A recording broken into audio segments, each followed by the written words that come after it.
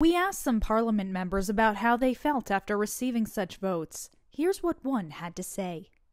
هو اشخاص ما بيس يعني ما بيستاهلوا يكونوا نواب لانه منهم مسؤولين اذا ما بدهم يصوتوا شيء فيهم يحطوا ورقه بيضاء بس ما فيهم يعملوا هالطق الحنك اللي عمليا آه، يعني بيسيء للمجلس النيابي وبيسيء لهيبته وبيسيء لجديته أكثر ما فعلا آه، مهضوم يعني نكت سمجه This is an extremely important step to make to get all of these needs met by the Lebanese.